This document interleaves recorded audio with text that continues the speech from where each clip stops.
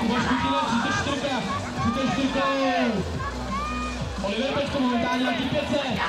takže cílovka 92, Vítek Bereš, desítka, Vašek Suchý, jednička, Velveček, 42, Marek který se jmenuje, právě